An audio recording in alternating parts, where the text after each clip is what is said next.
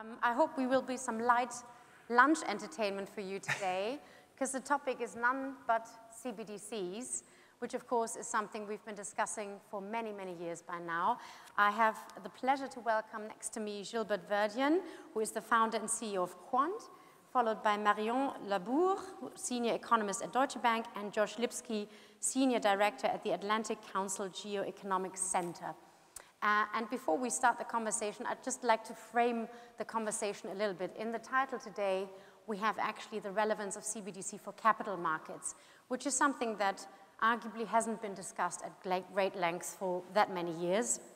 Just to remind ourselves where the whole concept of central bank digital currencies came from, in 2015, some guy called de Koning wrote a blog on saying, wouldn't it be great if we had a Fed coin? Uh, and a central banker picked it up and told everybody at the Frankfurt Central Banking Conference the next year. And central bankers got quite excited about the topic. And then, of course, we had the cryptocurrency boom. We had Libra, which everybody got a little bit scared about in terms of having a big tech suddenly issuing private money. What would that mean for monetary policy? Um, and then, of course, we had China deciding to launch its pilot, which is still ongoing with millions of people for some maybe no longer a pilot in description. But CBDCs really divide themselves into two categories. The retail one, which is sort of what you and me use in shops to make our purchases, uh, and the wholesale discussion. And wholesale is really about central bank money exchanged between banks and financial institutions domestically, but potentially also cross-border. And interestingly enough, now we have more than 114 or around 114 CBDC projects around the world, around 60 that are more or less live.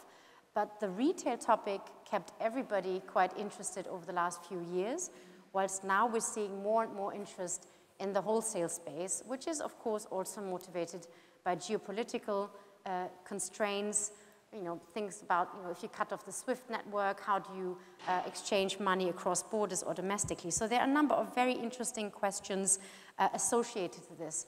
But our focus today is also capital markets and the big question, will there be any positive or negative impact that CBDCs will be having in that space? So I just open the floor and maybe we start with Gilbert and your background and your views on this topic. Thank you, thank you, Ruth. Uh, it's great to be here. Um, my, my, background has been in, in regulation, uh, in, in, treasury and government, uh, as well as in banking and financial services for, for 20 years with a cyber background. Um, been looking at this space since 2008, and I think uh, as a technology, CBDCs really is a transformative way to change how the system works. Um, and it unlocks a lot of, uh, uh, I guess, legacy issues that we've had with the financial system, and we've built upon those over the years leading to friction, velocity, and a lot of barriers. So if, if we start using tokenized money and tokenized assets, we're really solving a lot of the problems that we've inherited in the financial system, in capital markets, in payments, and, and others. Excellent. Now, over to Marion. Thank you, Ruth. Uh, very glad to be there. So on my side, uh, I, I, used to work in the private sector, uh, in academia and in the public sector. And my interest in CBDC and digital assets uh, is um, coming from uh, the Central Bank of Luxembourg. So I started there, uh, it was in 2014, and at this time, uh, Luxembourg was looking for additional way to, in terms of revenue, it was the end of the separate banking area, and they were looking at uh, crypto asset, DLT, blockchain, uh, central bank digital currencies, and any kind of digital assets. And it was a fascinating time, uh, given that it was the end of the separate banking area.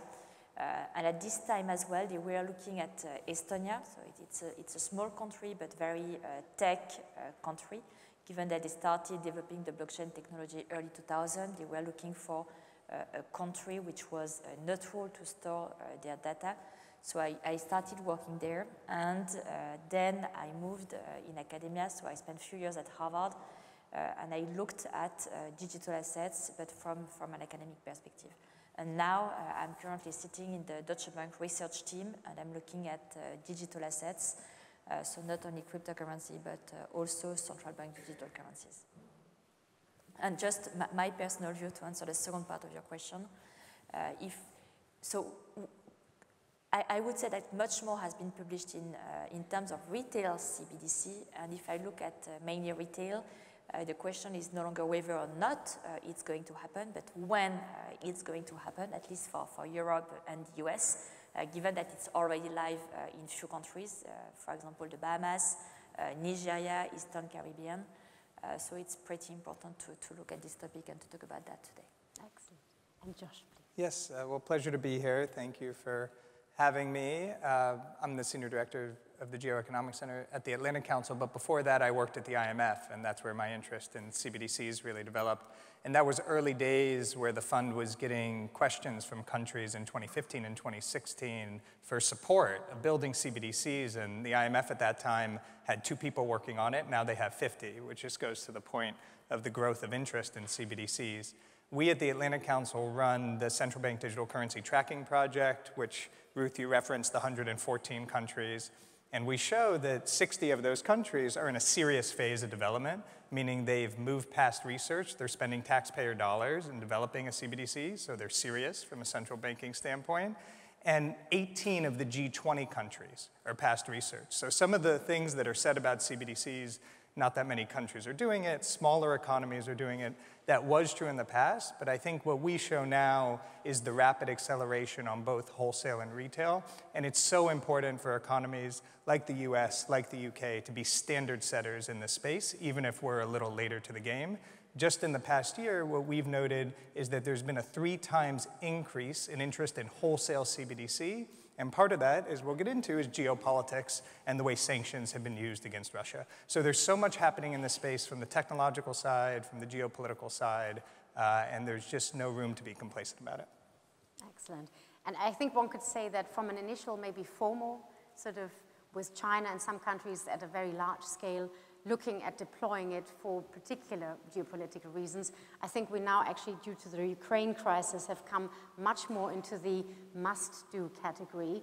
And I absolutely agree with you. I think the standard setting by large countries that have the more sophisticated legal regimes and the ability to help the country to become internationally recognized as a standard setter are, of course, the key drivers right now. I think it's also really important to remind ourselves of some of the particular examples you've mentioned around the drivers, retail CBDC in some countries is primarily to fight fraud, for example, or to increase financial inclusion.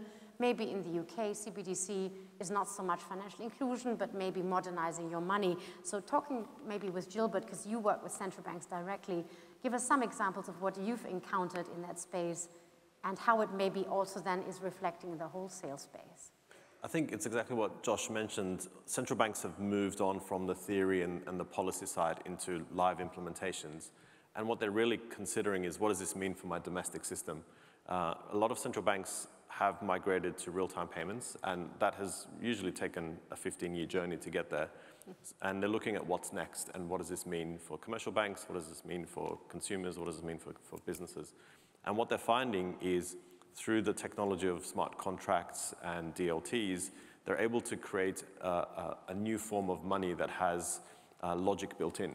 And the central bank is not really interested in um, imposing things within the industry, but they want to facilitate things. And, and, I guess the approach they're taking is we'll provide the infrastructure and we'll provide the construct to create CBDCs, and we'll let banks innovate and create a new ecosystem around that technology and the platform.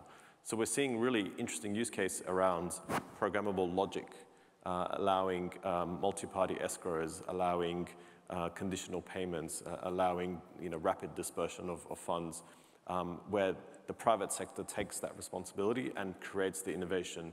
Um, and on the capital market side, it's linking tokenized money with tokenized uh, assets and having a, a rapid settlement um, moving from T plus two down to T plus zero is, is the utopia.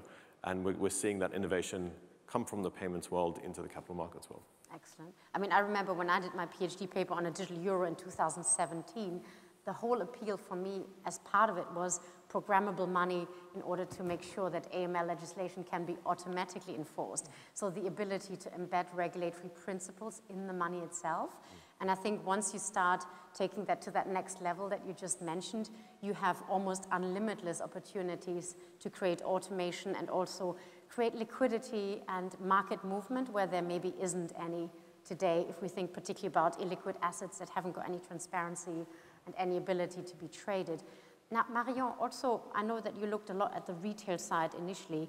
Share some of the views that you feel in the retail space and how that might also link to wholesale side because we always need the, the biggest settlement on that end as well. Yeah, yeah, absolutely. And, actually what I found fascinating is like, I, I, can really see the value added of the wholesale CBDC, especially for what Gilbert mentioned, uh, in terms of T plus zero settlement side and so on. I think there is a real uh, value added to, to have a wholesale CBDC. Um, what, what, I found very interesting is like the research is much, much, much more advanced uh, in terms of retail CBDC. Uh, and if we look at uh, what is going on in terms of retail CBDC, we have around like 90% of central banks which are looking at CBDC. Um, many of them are already piloting CBDC, but it's, it's also pretty interesting as well to see that central banks are looking at CBDC for different reasons. Uh, for example, as you were mentioning, Ruth, uh, China has been looking at CBDC uh, much, much earlier in 2014, but for very different reasons, mainly financial inclusion, um, to decrease cash in the society, while uh, for, for the Eurozone, for the UK, for the US, uh, the reasons are very different. Like it's more modernizing uh, payment and less financial inclusion. So very, very different reasons. Uh, and in terms of time span, um, I, I, would say as well that I found, what I found very interesting is like overall emerging economies are leading the race in terms of development. Uh, they are much more advanced than uh, advanced economies. Excellent, yeah. And, and just, from your experience as IMF and also now, I mean, you already mentioned that the geopolitical drivers have seriously increased in the last, I would say, years, very few years. Um, but it seems to be there's also sort of a competition between central banks, right? Maybe you want to expand a little. Yeah, we, we talk about it. We were talking about this. Some people call it CBDC FOMO. Uh, which is, you know, well, what is this other central bank doing and why am I not doing it? That's not necessarily a bad thing. We sometimes refer to it pejoratively. Central banks use that language amongst themselves. It's okay for central banks to want to innovate, to want to experiment, to try to figure out where the future of money is going. For some economies, it will be useful. For other economies, it won't. It actually makes sense for central banks to be forward leaning. Uh, they are the issuers of the sovereign fiat, and they should think of better ways to enhance monetary and fiscal policy if those tools are there. But there are some myths about CBDCs that I know this panel knows, and it's probably useful for the group to discuss. One is that CBDCs will disintermediate the commercial banking system. Every CBDC we study, of the 114, is intermediated through the commercial banking system or other payment providers, even China's, for now. So I just put that out there because it's something you often hear in the CBDC conversation. Uh, we, the central banks have to use the distribution mechanisms of the commercial banks to get this to citizens. They are not going to handle AML KYC. They are not going to be customer interface. The second is that it's going to cause a bank run. Of course, that's conceptually possible, and we can think about this in the SVB context of what just happened in the US. But that's why CBDCs are capped. The Eurozone will probably go with a 5,000 euro equivalent cap or something like that. It's specifically to address the bank run issue. And what we see in our research is that in practice, Gilbert, to your point, CBDCs operate differently than you might expect they would from the academic research. So every country that's issued a CBDC has seen their commercial banking liabilities increase not decrease. And we can think about why that is. My theory on that is that's because the countries don't have basically CBDC interfaces to accept the off ramp. So you can get it from your government, but you can't spend it everywhere. So then you off ramp it into commercial banking money or crypto or stablecoin, but something that's useful to you. But it's just to say there's so much we don't know about the field. It's so emerging, so developing. And the things we think we know about CBDC, we can learn a lot from Nigeria, from India, from China, from the Bahamas. Not all the lessons there apply to the Eurozone or the UK or the US, but some do, and they're worth paying attention to. Excellent. And I think when I think about, I mean, my research at the time focused also on financial stability, which I thought is a really important piece because we think about global cross-border wholesale payments, We've seen things break down during the financial crisis. People didn't know where the liquidity was. They still don't know where it is. There's, I think, one limitation around banks being able to manage liquidity real time because CBDCs will settle more or less real time. And it's quite different to the retail you know, IOU structure because this would be central bank money that you actually have to have in your account to settle. So I think there's one sort of emerging challenge around adapting the banking industry to handle real time. And I, I, agree with you. I think the retail aspect of being able to have a real-time bank run is something we should be mindful of, which is why there will be limits. But one point to make for this audience in particular around an earlier comment from the minister as well as later on from Gwyneth Nurse, was around digital identity. If you are not able to identify individuals and, for example, attribute just one wallet to them, as opposed to allowing people that are not identified to open multiple wallets, even if you have limits, you're then exposing yourself again to the AML risk and, of course, other risks. So maybe a few comments on that. Maybe Marion, have you seen that also in your research as a big risk factor, right? Yeah, no, I, I, absolutely. And, actually, as you mentioned, so we should be able, I mean, central banks should be able to, to, to put a name in order to, to monitor transactions. Uh, it's what China is doing very well. Uh, in Europe, it's probably much more tricky because people have a different kind of feeling um, towards anonymity. What, what, I found fascinating is like, actually when the ECB uh, is interviewing, running some polls, questionnaire about what people are feeling about CBDC, the, the anonymity point uh, is pretty high actually on the agenda, but it's also probably a, a matter of how you ask the question. I mean, if you ask someone, do you care about anonymity? I think everyone here is going to say, yes, of course, we care about anonymity. But if we ask people if they have a, a smartphone, I think most of us uh, have a smartphone. If we ask people if they have Google Map, I think most of us have Google Map. Most of us have access to our email. So yes, we care about anonymity. Uh, we don't want to give all our data to, to Apple, to Visa, to MasterCard, to any private company. But at the same point, uh, convenience is always king when you look at uh, how people are behaving in the end. Yeah. Yep. And maybe sticking a bit more with the wholesale side. I mean, Gilbert, you've been working with distributed ledger technology for a long time. Um, thinking about wholesale CBDC, I mean, some academics even years ago would say, our wholesale money is already digital. It's already a CBDC. We don't need anything else.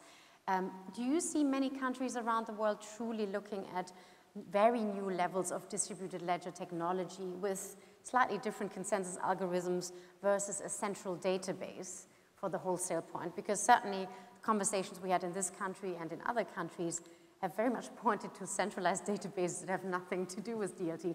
What's your perspective on that and then the interoperability aspects as well?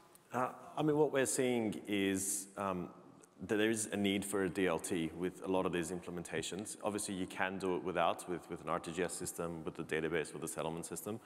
But the features of DLT around smart contracts, security and privacy, enhance the infrastructure to a level that you couldn't before.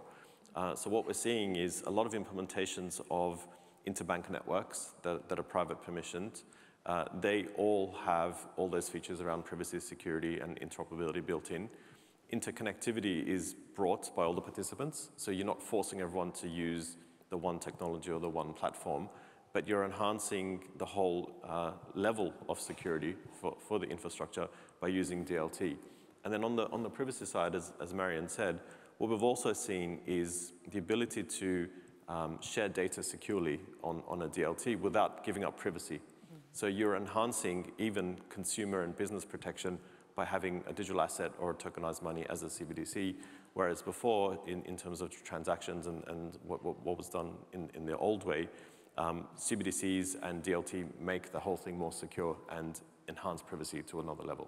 So really, for wholesale in particular, in order to mobilize capital markets efficiently, we actually need DLT with everything hanging off it, which is a very interesting consideration. Josh, would you like to comment on now the more recent drive of wholesale despite the geopolitics, because the capital markets piece, are there countries that are truly looking at unlocking that potential? No, you read my mind. That's exactly what I wanted to talk about because what we see in the research in this past year, as I mentioned, is this 3x increase in wholesale CBDC.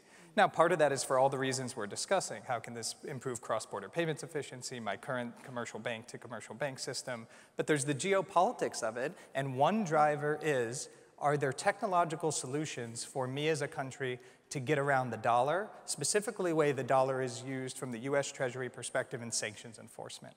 And wholesale CBDC potentially, underline the word potentially because it's not there yet, could deliver to countries via their commercial banks way to transact and settle near instantly outside the dollar. So the way it works now, where you have to go through the correspondent banking network, touch dollars even if you're not exchanging dollars, you wouldn't have to do that. And you see China's mBridge project as an example of this, but not just China. You see Malaysia, you see South Africa, you see a range of countries who are asking themselves, are there systems that I can build in the future if I get on the wrong side of a US sanctions enforcement action that would then allow me to avoid dollar oversight. And that is a driver of interest in wholesale CBDC. It's one we should take very seriously from a US perspective, from a UK perspective, from a Eurozone perspective, because revitalizing the SWIFT system, revitalizing the correspondent banking system is going to be something very important if we don't want to see a splintering of these correspondent banking networks into the future. So are we in an arms race, in, in essence? And do,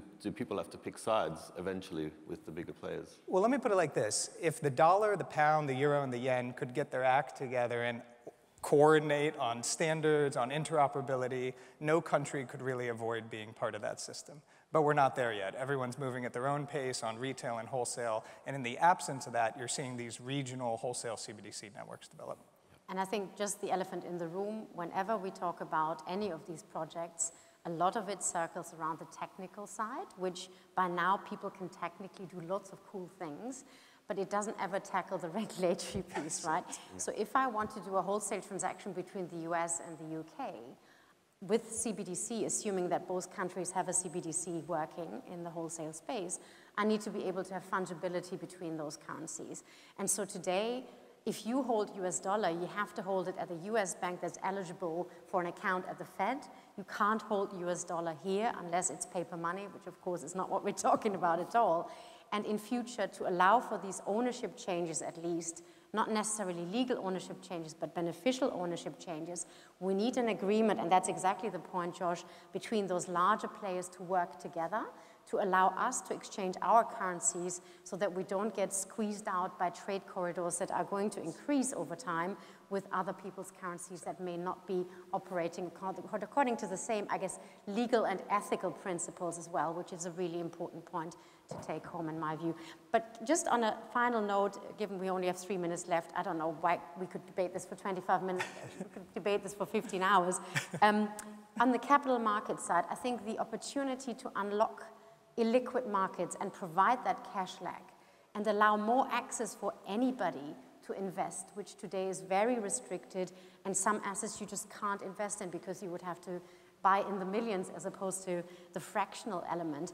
Maybe Gilbert, if you want to give us more, some more examples of how you've been playing around with technological and legal ideas in that space. I think, yeah, we saw this from the London Stock Exchange yesterday. They, they, want, they want to remove the difference between private equity and public equity and remove the barriers to investors and, and to, on, the, on the buy side and the sell side to participants. So what we see is unlocking a lot of private equity that was previously closed, previously closed, and what you can do with the technology is, is you know, create velocity and, and allow it to roam. So you're not limiting it to a jurisdiction, you're not limit, limiting it to an exchange. You can run this and transact and buy this anywhere in the world. So we're seeing that, that decomposition of financial services because it's, it's blurring the lines between all the different types of assets. And it's, in a way, it's decentralizing what used to be very centralized, mm. something I'm tackling in my next book, which comes out next month. But I think we ended up in a world that is too centralized. And now looking at how technology can help us to open up the market and decentralize more with distributed ledger, smart programmability, and the regulatory co coherence between the big players is really what we're looking at at this point. Excellent. Any last comments from Marion or Josh? Please. Oh, uh, well, I just uh, build on what was being said. CBDCs are an opportunity. They're an opportunity for the public sector. They're also an opportunity for the private sector. I, I think, and I say this as an American being in the UK, the UK gets that more than we do in the US right now. I see a lot more coordination between the public and private sector on this issue than I see back in the US. And the research shows, and the message I would just leave everyone is that this can really help build a healthy digital asset ecosystem if done right. It can also go very badly if done wrong, and we should not ignore those risks. Uh, but it's important to be innovative. It's important to think of public-private sector collaboration in this space. Yeah, I'm, I'm going to echo what uh, Josh uh, just mentioned. I think it's a real opportunity that solves like, um, I mean, big issue that we have, both on the wholesale side with settlement, clearing and, and so on, and, and both on the retail space. Um, and we shouldn't forget that cash uh, in circulation has been declining, cash as a mean of payment has been declining. Mm. Um, it's a long-term trend which has been accelerated by the COVID pandemic, and it's also one way actually to look at the digital cash of the 21st century, um, and, and th there is a real use case for, for retail CBDC. Excellent. So CBDC is really the necessary cash leg to mobilize capital markets of the 21st century. I think that's a good way of closing it. Thank you very much for listening. Thank you very much to Marion, Gilbert, and Josh for joining me.